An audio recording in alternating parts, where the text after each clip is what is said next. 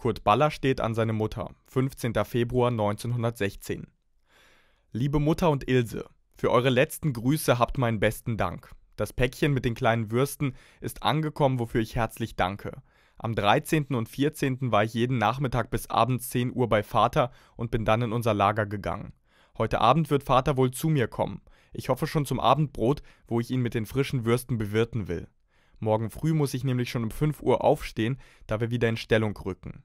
Gestern wie die Tage vorher war ein ganz schreckliches Sauwetter und heute ist Sturm mit Sonnenschein, sodass es tadellos abtrocknet. Hoffentlich wird es nun endlich Frühling, den wir alle herbeisehen. In letzter Zeit war ziemlicher Betrieb in unserer Gegend, was ja auch alles in der Zeitung gestanden hat.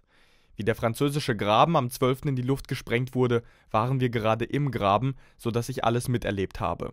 Es war für uns alle eine Genugtuung, dem Franzmann mal ordentlich eins auswischen zu können.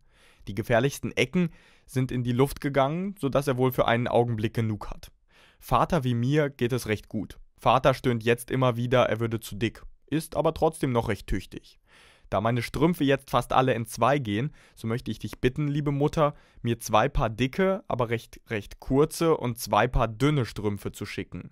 Ferner möchte ich ein Paar lederne Handschuhe haben in braun, recht starkes Leder. Ich glaube, ich habe Nummer 7,5. Dass ich Schnürsenkel haben wollte, habe ich ja schon einmal geschrieben. Ferner bitte ich noch um dünne Unterhosen und Hemden. Was dann alles gekostet hat, schreibst du mir bitte, damit ich dir das Geld schicken kann. Sei du und Pine herzlichst gegrüßt von deinem treuen Sohn Kurt.